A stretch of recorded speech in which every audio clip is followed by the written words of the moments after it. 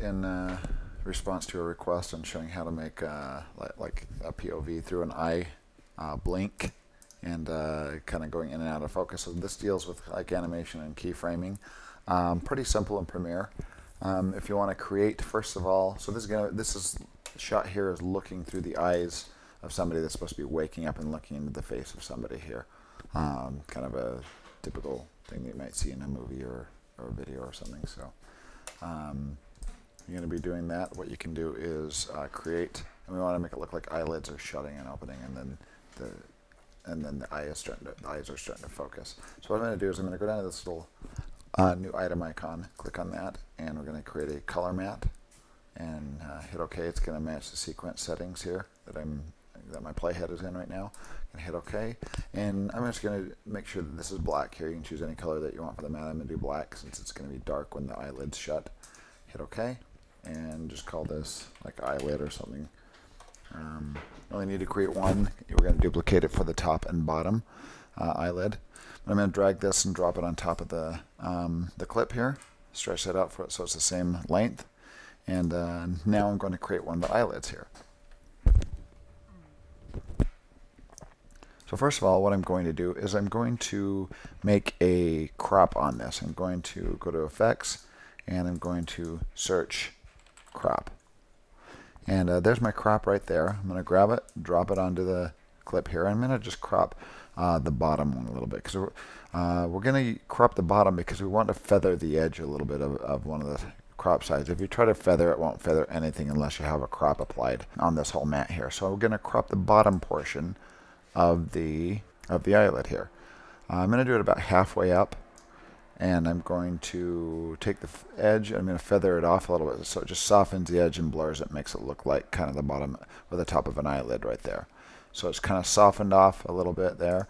Uh, I'm going to zoom this out a little bit so I can kind of see my composition. Let's go to 50% here because uh, I'm going to be working with the outside of, of this um, of the um, the matte the color matte I'm going to select motion here.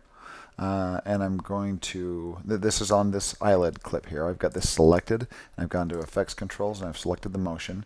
Uh, if it doesn't show this wireframe, you can just click on this little box right there, this little square next to motion, and it will bring up this wireframe, and now you can control the size of your color matte here. I'm going to make this a little bit larger, uh, so make sure that this kind of goes outside the edges, and this, and I can control the softness here. And what we're going to do here is we're going to there's our top eyelid right there, and you can see the wireframe outside of our canvas here. Uh, as you as we animate this up, you can see that the eyeballs or the the eyelids are going to open up and close. You can have that be the whole eye if you want to make that bigger, but I'm going to make a bottom and top eyelid. Um, so simply, all you have to do is take this here and duplicate it. Shortcut for duplicating is you're going to hold down Option grab the clip while you're holding down option and drag up. It'll duplicate it up to the timeline above it. So now we have uh, two identical uh, layers here, two eyelids. If I select the top one here and uh, go up and click on the motion square to make a wireframe, you'll notice I've got two different uh, files here, uh, two different uh, color mattes now. So all you're going to have to do is go to the motion of one of these clips here. I'm going to choose this bottom one and do it. So this is the top. This will be the top eyelid. That'll be the bottom. Uh, so I'm going to select the bottom. Going to arrow down my attributes on motion, and we're going to rotate this 180. Oops, 180 degrees, which will rotate it upside down. Right now it's overlapping the other one, so it's blocking it. So I'm just going to simply grab the position and drag it uh, down the other way. There we go and you can see uh, my, vert my vertical position there as I bring it down you're getting kind of that eyelid effect like it's opening and closing. Now you can see the rest of this we can do this with animation and uh, and create the effect. So I'm gonna take this back up to where it just starts to shut there right about there. And you can have your eye eyeball or your eyelids just squeaking open if you want. I mean from here you can do anything you want as far as what the eyelid's doing. I'm gonna take the top one and close it. And now we have the eyelids closed so I'm going to go back to fit, so that brings that back full screen. And now it is simply animation from here. Uh, very simple. So you're going to select the top eyelid, and we're going to add a keyframe. At the beginning, turn on the keyframe on positioning, on position, play into it about right there. So the first eyelid opening is going to be a little bit kind of slow, so we're going to uh, add a new keyframe right there. From here to here, the eyelid's going to open. So I'm going to arrow back to the beginning. This would be pretty easy. And if you did this in After Effects, you could pretty much duplicate the, the top one, put it in a new comp, and animate, and, and the animation would be duplicated on both of these. One would just be flipped. It'd be a lot easier in, in, in After Effects, but that's a whole new tutorial. Um, but in Premiere, you kind of have to do each one manually. There's some tricks to do it, but it's going to be as much work as just doing all this manually anyway, that I just really said nothing. Here we go. So I'm going to, uh, I've got my first keyframe set at this position. My second keyframe is set at the exact position, but I'm going to change the second keyframe uh, and animate this slightly open right there. I'm going to do the same here. I'm going to land, I've landed on this keyframe. I want these things to be in sync. So I'm going to click on the bottom keyframe or bottom uh, uh, layer, turn on my uh, keyframes for position adds that keyframe, and then I'm going to go to the beginning and add a new keyframe. So these keyframes are exactly the same as the keyframes in my top eyelid. But with the bottom one, I'm going to go to the second one and animate it downwards right to there. So now if we go to the beginning and play, you'll notice the eyelid opens up, but it suddenly stops. It's very mechanical. It suddenly stops. So what I'm going to do is go to each one of these second keyframes here, right click on it, and I'm going to go to uh, temporal inter uh, interpolation. I'm going to tell it to ease into this keyframe. It won't suddenly stop, it'll ease into it.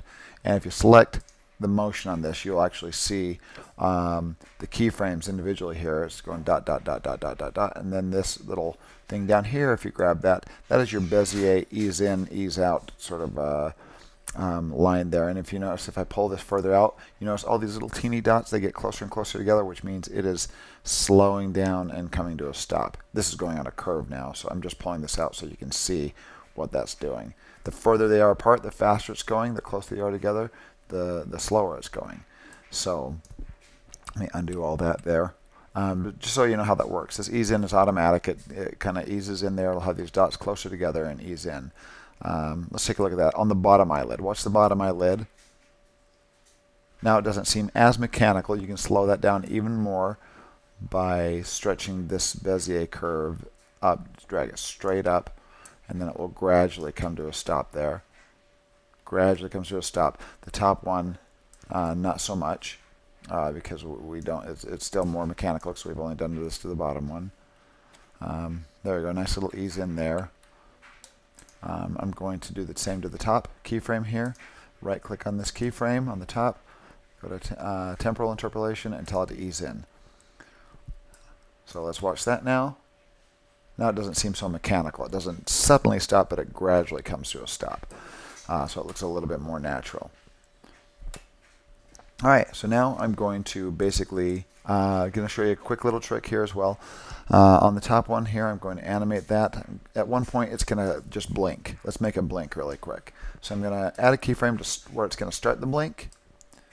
And actually, I'm going to go like five frames down and put another keyframe. So I'm going to do hold down Shift and arrow to the right. That jumped five frames ahead. Shift, arrow left or right jumps five frames. So I'm going to hit a keyframe there. These are so close together, it's kind of hard to see them. So you can just zoom up on them like this. And I'm going to hit Shift 5 and add another keyframe. So it's five frames, five frames. So I'm going to close and open back up here. So I'm going to jump between these keyframes. Go to the uh, actually we're going to go to the middle one here and close this. So close the eyelid right there. We're going to do the same to the bottom here. And there's a quicker blink. If you don't like the speed of this, you can grab these two keyframes, stretch them out a little bit, grab this keyframe, stretch it out. So this happens over a little more time slowing it down. Uh, I'm going to land on the exact keyframes and add the exact same thing here. Boom, on the bottom. Go to the middle, go to the bottom, add a keyframe. So this, so these are in sync basically. There we go. We got the exact same keyframes here, but now we just have to program them. Go to the middle keyframe on the bottom and close this eyelid. There we go. So now we've got a blink that happens on the exact same thing. And actually, I'm going to make my eyelids kind of disappear on this last one here. So I'm going to go to the last keyframe and move that so it's just barely off. So I have a little bit of softness on the edge. So now the eyes are all the way open. There we go. So there's a blink, boom, and there we go. And that looks pretty good. So now we're just going to keyframe a blur. So when the eyes open up, they're trying to focus. The eye barely opens up and a blink. And you can do more of those if you want, maybe a couple blinks. And if you want a couple blinks, this is kind of cool. I'm just going to go to these three keyframes, copy. I'm going to highlight all those. I'm on the top right now. I'm going to highlight all three of those keyframes, copy. Uh, let's go to the last keyframe here. I'm going to go shift, down five, down five. So I've moved down 10 frames and paste. Then I'm going to go to the bottom one, copy these keyframes, copy and paste. And now I've got two blinks. So now I don't have to do all those keyframes again because I just copied and pasted keyframes. Blink, blink. There we go. So we've got two blinks there. Now let's keyframe our blur. I'm going to go to the blur, find a blur, grab Gaussian blur, drop it on the bottom clip here because this is going to go, this image is going to go in and out of focus. We're going to start at the beginning and make it, uh, turn on our keyframes at the beginning, make it way out of focus. Let's go to like 300. Actually, 250 is good. Going to play. So right now it's out of focus, and we're going to have it gradually come in focus as the eyes open up. Maybe not quite all the way, so I'm going to pull this down. It adds a keyframe, get it where I want it, like maybe right there. Still out of focus, and maybe come sharp into focus right there. Maybe almost, not quite all the way sharp. And then blink. And on the blink, let's have it go way out of focus again and in focus a little bit more. And after the last blink, it's going to come into sharp focus. So way out of focus right there. Notice it's adding these keyframes. Way out of focus and comes into sharp focus on the last blank. So let's play this, watch it.